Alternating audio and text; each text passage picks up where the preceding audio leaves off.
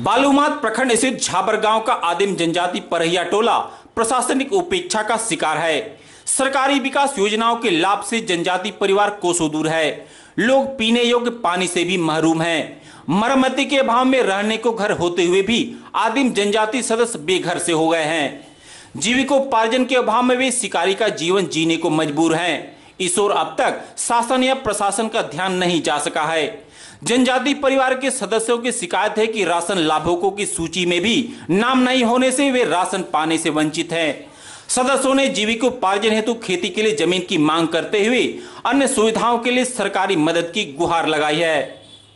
ऐसा है कि घर आपका बहुत छोटा छोटा बन भी रहा है और पहले का जो घर है वो पानी चूता है। बरसात का दिन है, पानी चू रहा है, सबका घर में यही तरीका है। तो अफसर लोग यहाँ पर आते हैं? अफसर लोग यहाँ पे हमको रहते वक्त में कोई नहीं आए हैं। आए थे एक बार। जो वहाँ पे बैठे थे उन लोग का नाम नहीं जानते। कौन थे वो भी हमको नहीं पता पर आए थे। उन लोग बोले कि घर आपका घर बहुत छोटा छोटा बन रहा है सो और जो आपकी वीडियो है उसको तो हम जानते नहीं है उसको तो देखे भी नहीं है हम। यहाँ आए यहाँ आई भी नहीं है उसको हम देखे भी नहीं है। घर क्या स्थिति पुराने घर का? पुराने घर का स्थिति है पानी सब में चू रहा है। कितना घर है? घर है पंद्रह सोलह ठो घर होगा। राशन वगैरह क्या?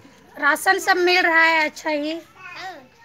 स्वास्थ्य की मिला है आधा के तो कहा है कि लिस्टवे में ना है नाम। कहाँ पिलर है? डीलर है इचाक के। अशोक लाल। अशोक लाल है। नाम हुआ। सविता देवी।